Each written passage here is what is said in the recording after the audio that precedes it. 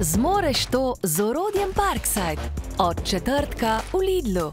Tračni brusilnik Parkside 37,99 evrov, list za krožno žago Parkside 4,99 evrov in izbor spon za paho in šarnirjev Parkside le 1,99 evra. Lidl, preprosto več za vas.